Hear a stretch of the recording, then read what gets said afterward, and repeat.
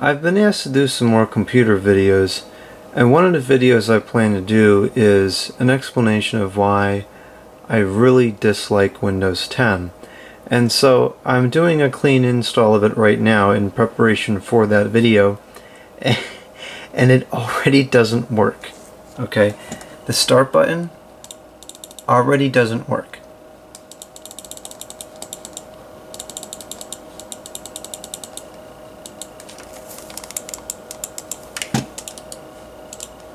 Uh, and I'll, I'll, I'll, how am I going to get anything to open? Let's see if I can get something open. If I can get a program to open, I'll show you. It's, it's a brand new install.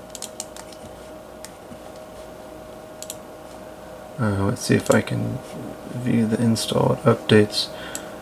Um, let's see here. Well, this isn't showing me what I want, but and the drivers just went in today. This is only the second time I've booted up this installation and it already doesn't work.